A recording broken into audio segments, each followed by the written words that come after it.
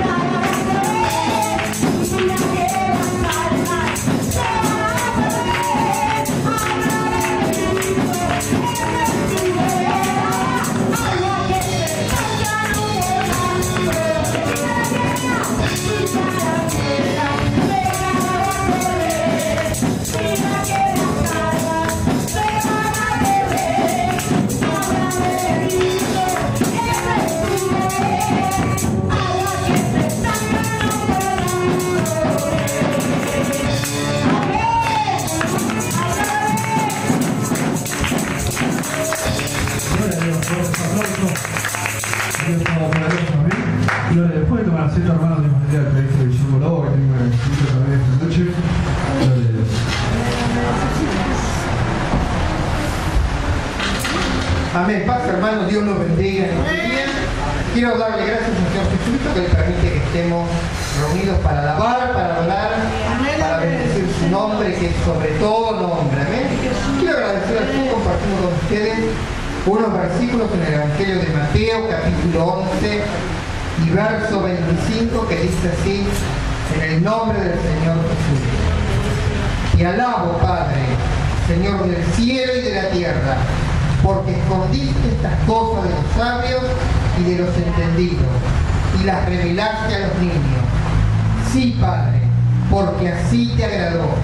Todas las cosas me fueron entregadas por mi Padre, y nadie conoce al Hijo sino el Padre, ni el Padre conoce a alguno sino el Hijo, y aquel a quien el Hijo lo quiera revelar. Venid a mí, todos los que estáis trabajados yo os haré descansar.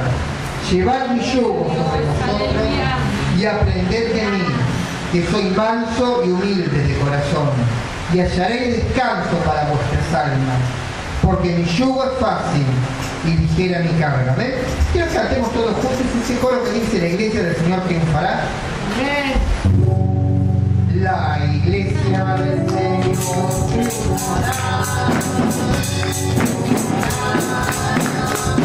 I'm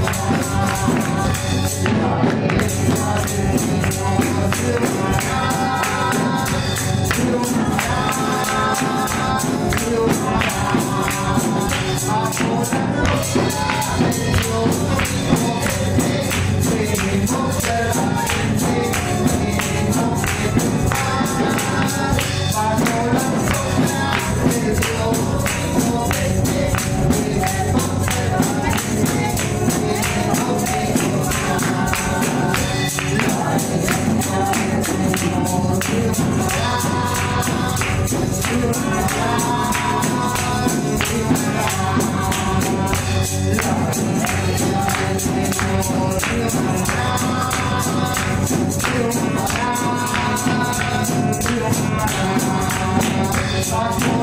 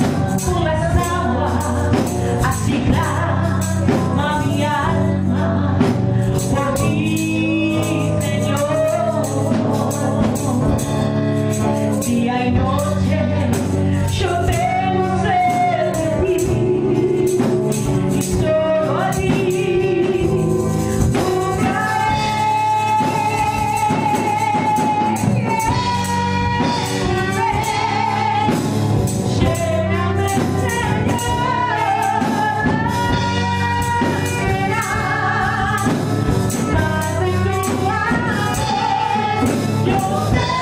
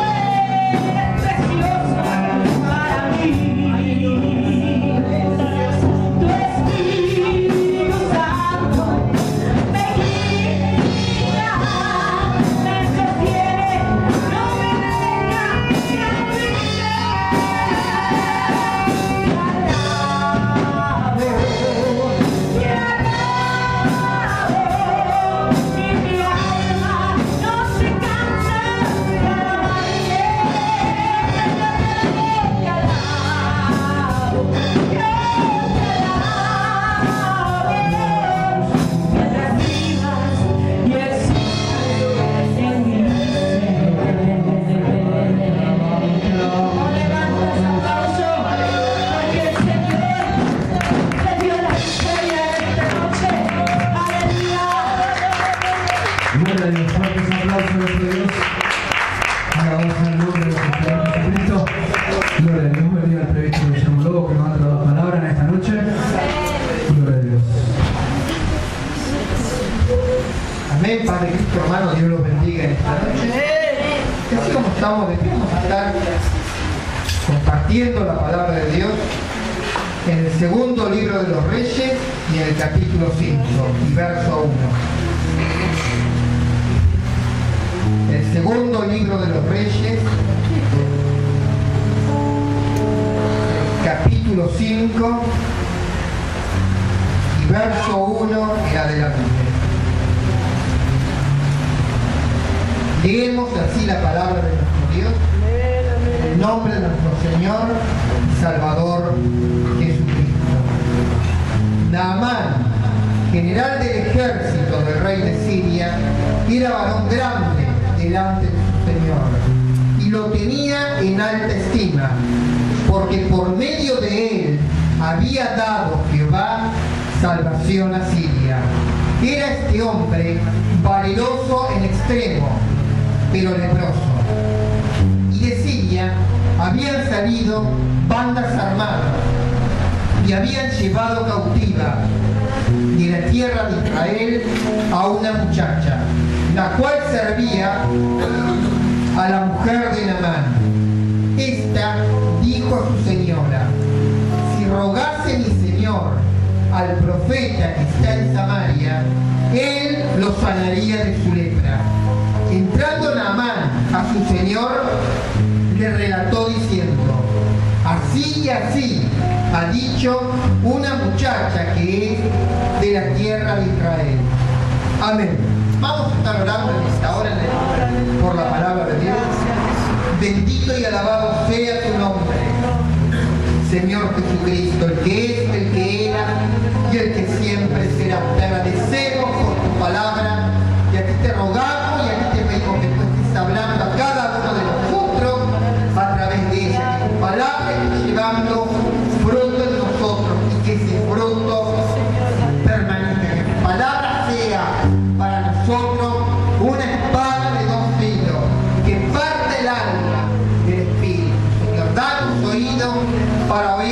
lo que tu espíritu tiene para decir a la iglesia. Te damos las gracias en el santo nombre de Jesucristo, que es sobre todo nombre.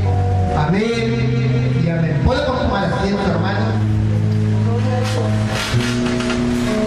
En el periodo de los, de los reyes de Israel hubo una guerra continua entre Israel y el reino de Siria.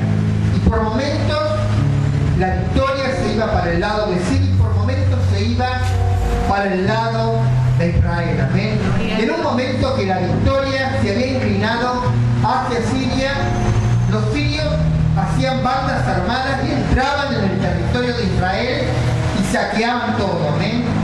Robaban ganado, robaban las casas de la gente, robaban a las personas y las reducían a esclavos. Amén. Era lo que hoy nosotros escuchamos que se dice trata de personas. Amén. Bueno, eso es algo tan viejo como la humanidad. Amén.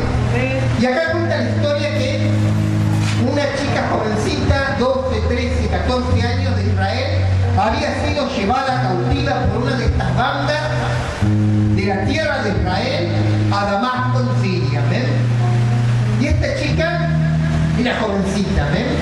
Y fue vendida en la plaza pública como esclava. Y le podía haber pasado cualquier cosa, ¿ven? Al ser jovencita la podían haber comprado para hacerla una esclava sexual, ¿ven? La podían haber llevado como esclava en una plantación. Pero en toda la desgracia que ella tuvo, tuvo la suerte que la compró la esposa del general del ejército de Siria, la esposa del general del rey de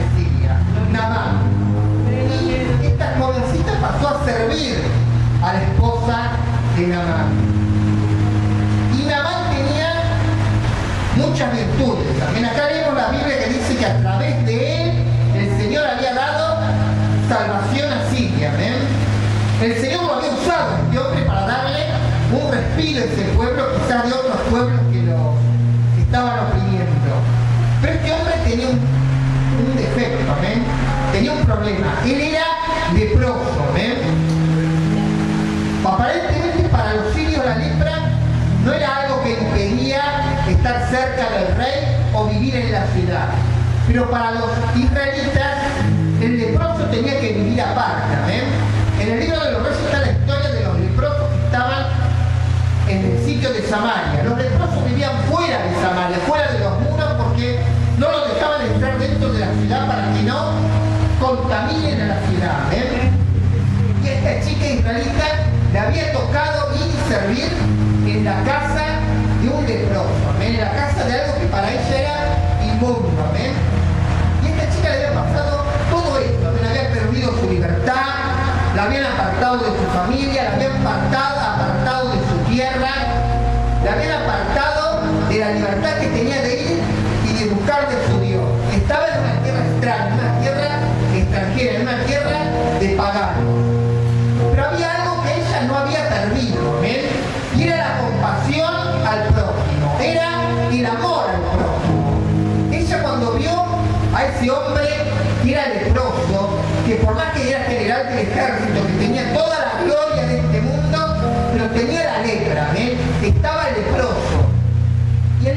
para los hebreos la lepra era como un símbolo del pecado. Era, esa enfermedad era como algo que empezaba de a poco, que empezaba como una mancha, pero que se iba extendiendo y podía cubrir toda la persona. Era algo horrible, ¿amén? Como el pecado. Y ella veía a ese hombre leproso y sintió compasión por ese hombre. Y le dijo a su señora, si mi señor fuera a Samaria y le pidiera al profeta que está en Samaria, él lo sanaría de su lepra. Lo dijo con certeza, ¿amén?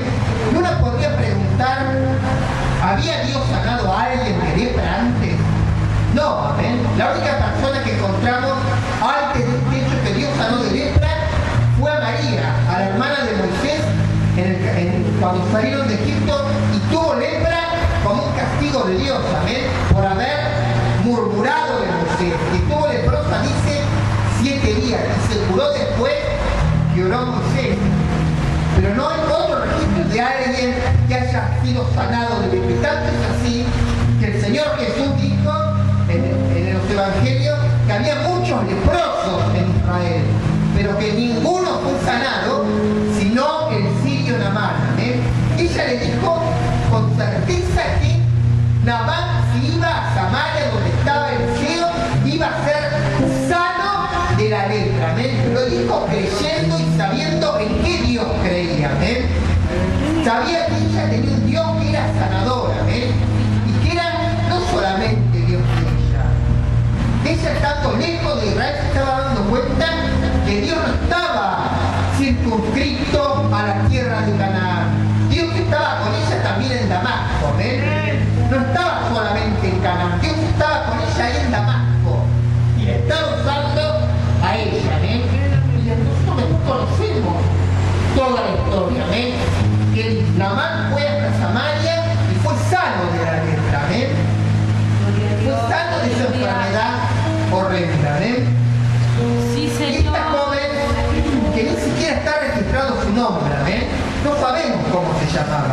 Sí sabemos lo que hizo, ¿amén? Sí sabemos lo que dijo, ¿amén? Cómo sus palabras fueron usadas para que Eliseo tuviera fe y creyera que había un Dios verdadero, ¿amén? Un Dios que hizo los cielos y la tierra y que tenía poder para sanar, ¿amén? Y muchas veces nosotros estamos rodeados de las personas con que convivimos,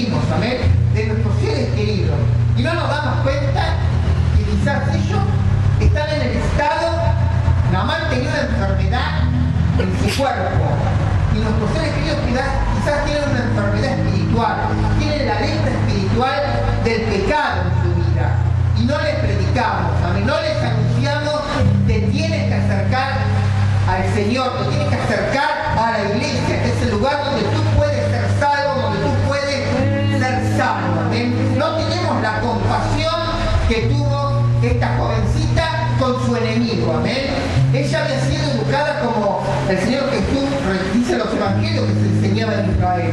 Amarás a tu prójimo y aborrecerás a tu enemigo. Ella no lo podía aborrecer porque estaba viendo un prójimo que necesitaba ayuda, estaba viendo un prójimo que necesitaba sanidad. Y nosotros tenemos a veces nuestro prójimo, al que queremos, al que amamos, Y no le decimos, conoce al Señor, conoce a Jesús, acercate al Señor, Él te puede salvar, Él te puede sanar, amén. Y está en nuestras manos, amén. Está en nuestra lengua predicar el Evangelio, como predicó esta jovencita, amén. Como predicó ella, amén. Nosotros tenemos que predicar.